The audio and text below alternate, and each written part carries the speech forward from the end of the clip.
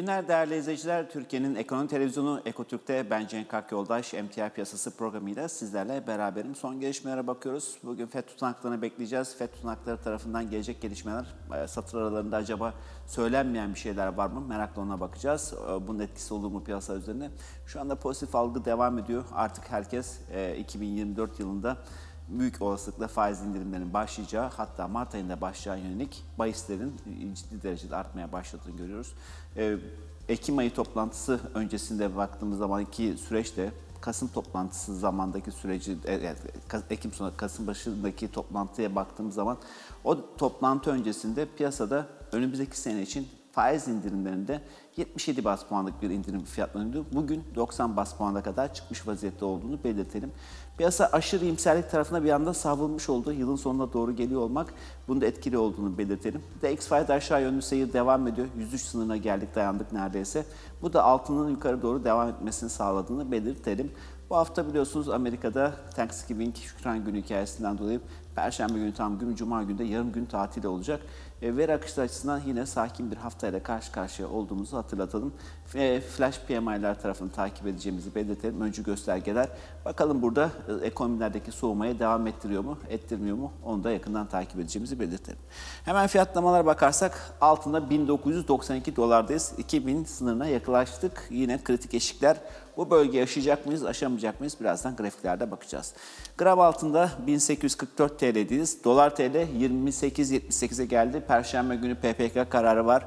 Faiz arttırımlarının devam etmesi bekleniyor. 25 bas puanlık bir artış e, yeterli olacak mı? TL'deki gidişin, e, TL'deki değer kaybının sürmesi beklenir mi? E, daha önceki OBP verilerine ve e, Merkez Bankası yapmış olduğu enflasyon raporu hedeflemelerine göre baktığım zaman yıl sonunu 30 lirayla 30 lira 40 kuruş arasında bir bölgede kapatması beklentisi haiz. E, kalan gün sayısı da belli. Bu süreyi e, hızlı bir şekilde kapatmaya çalışıyormuş gibi gözüküyor istikrarlı şekilde. Gümüş tarafına dönersek 23.76'da, gram gümüşte 22 TL'deyiz, palladiumda 1073'teyiz, platin 920, Brent petrol 82 dolarda, Amerikan tipi e, ham petrolde 77.55'teyiz. Doğalgaz 2.90'da, soya fasulyesi 1376'da, Mısır 469.75'te, buğday 547.25 ve kahvede de 177.90'dayız diyelim. Peki bu gelişmelerin tahvil piyasası üzerindeki etkisine bakalım hızlıca. Tahvil tarafındaki e, seyre baktığımızda pardon, e, tahvil tarafındaki seyre baktığımız zaman 4.38-5.28 arasında sıkışmış bir yelpaze. 8 e, tahvilin 7'sinin 5'in altında olduğunu, bunun 3 tanesinin 4.38-4.43 bandında olduğunu, e, bir tane 4.50'lerde, bir tane 4.60'larda, bir tane 4.70'lerde ve 4.90'larda Hatırlarsanız bundan 15 gün önce ağzın çok kapandığını, çok yakınlaştığından bahsediyorduk. Yine biraz ağzın tekrardan açılmaya başladığını görüyoruz.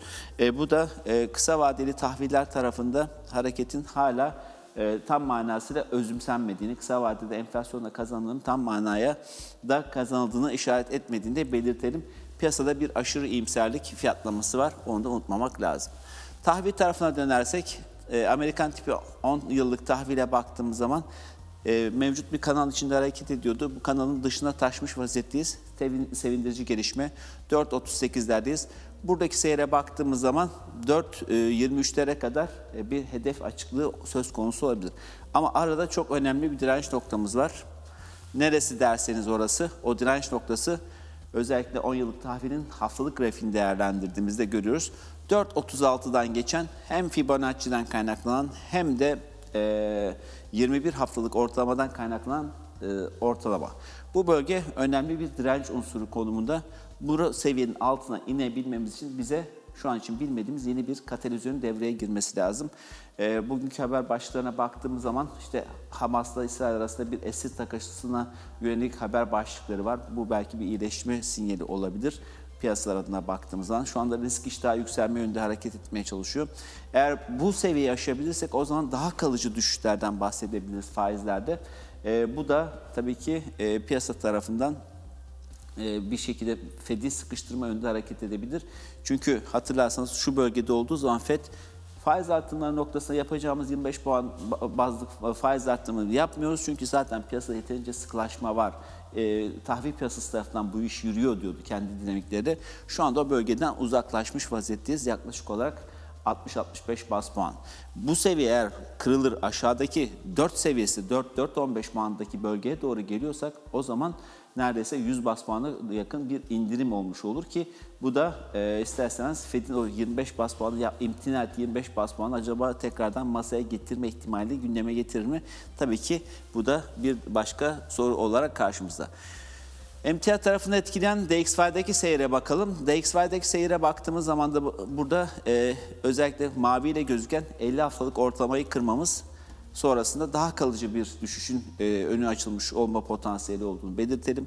Şu anda 103.17'de bulunan Fibo desteğine gelmiş vaziyetteyiz. Bunun altında sarkabilir miyiz? Evet sarkabiliriz. Aşağıda kırmızı ile gözüken e, bir ortalamamız var. O da 100 haftalık ortalama. Nereden geçiyor? 102.75'ten ana trend desteğimiz o bölgede olduğunu belirtelim. Baktığımız zaman şöyle 114 seviyesinden başlayan düzeltme hareketi sonrası hep bu ilk etapta kırmızıya gelip dayandıktan sonra bir tepki hareketleri içine giriyor. Bir bant hareketi oluşturuyor. O zaman bizim yeni bant hareketimiz yukarıda 105-40 aşağıda 102,5 olmak üzere bir bant içine girebilir. Bu da piyasalar için oldukça e, rahatlatıcı bir süreci önüne açabilir. Hemen döndük emtia tarafındaki grafiklere bakalım. E, altın ETF'lerinde seyir nasıl? 63.8 milyon ons hafif bir kımıldanma var. 500 bin onsluk. Bu oyuncu ETF'lerden geldiğini hep belirtiyoruz. Bugün 500 bin, yarın e, artı, artı ertesi gün eksi oluyor. E, oraya çok fazla itibar etmemek lazım.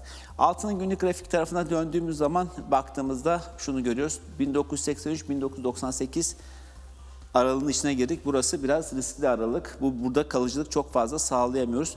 Eğer buradaki kalıcılık e, kendi rüştünü ispat etmeye başlar ise buraya dikkat çekici unsur var. Fiyat yukarı giderken RSI kafayı aşağı çevirmiş. Burada bir negatif uyumsuzluk var. E, bu fiyatlamanın çok kalıcı olmama potansiyeline işaret ediyor olabilir. Dikkat etmek lazım. 1998-2010 bölgesini taşma bölgesi olarak değerlendiriyoruz hala şu an için. E, o bölge 2010'un üzerine yeni fiyat almadığımız sürece bu bölgeler kısa vadedeki e, en nokta olma potansiyeli içeren aralığımız gibi duruyor. Geri çekilmeler noktasına baktığımız zaman da burada dikkat çekici destek bölgemiz 1972-1974 aralığında olduğunu belirtelim. Ana destek noktası. Arada 1983'leri hafif bir destek olarak kabul etmek gerekir. Hemen döndük.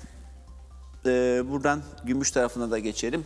Gümüş tarafındaki seyre bakalım. Gümüş tarafındaki seyre baktığımız zaman da burada 23-30'un üzerinde tutunma çabası devam ediyor. Trend içine denemeleri, 24 dolar üzerinde denemeler e, oluyor ama çok başarılı olamıyor. Tekrardan döndük dün itibariyle 23-30'lara bir, bir, bir tur daha teyit aldık. Tekrardan kafayı yukarı çevirdik. 23.75'lere geldik.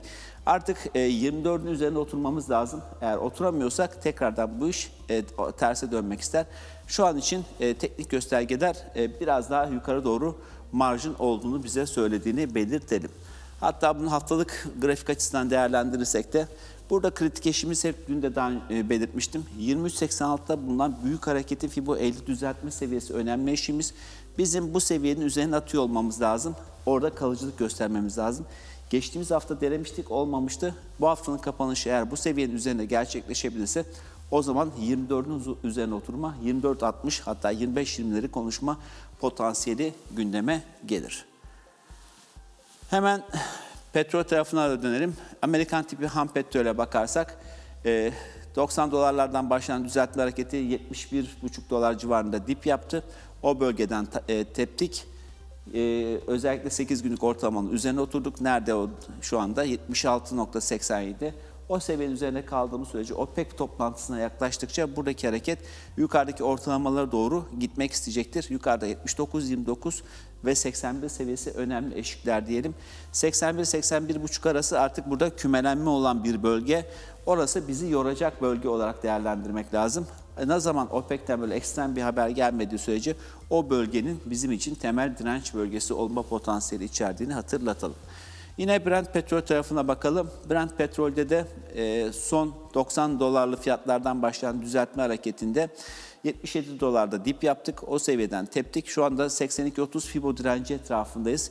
Dün bir taşma yaptık. Başarılı olamadık. Bugün tam e, Fibo direnci etrafına gidip geliyoruz.